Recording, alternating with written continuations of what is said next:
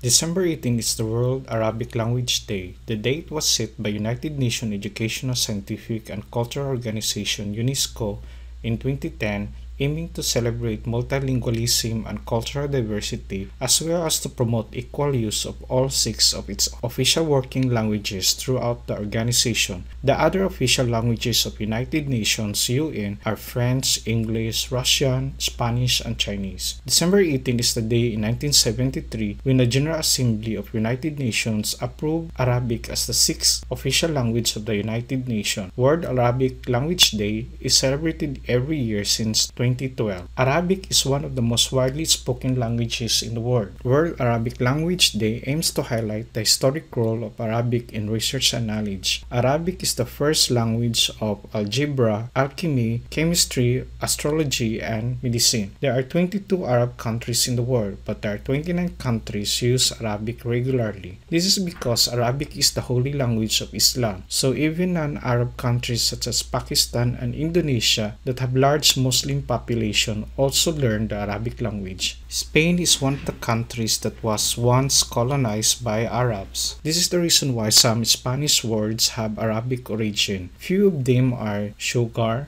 alcohol, neighborhood, and cup.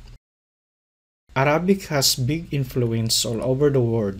The numbers 0 to 9, which most of the countries use today, are actually Arabic numerals. While most of the languages are written and read from left to right, Arabic language is written and read in the right to left form. Today, there are three different types of Arabic. Classical Arabic is the written language of the Quran, the main text of Islam. Modern Standard Arabic is used in publishing, education, and media across the Arab world. Colloquial Arabic is used in everyday conversation with different regional variation. The best way to celebrate this day would be to increase your knowledge of this language. You can learn Arabic not only from books. There are apps from your smartphone which you can download to learn Arabic.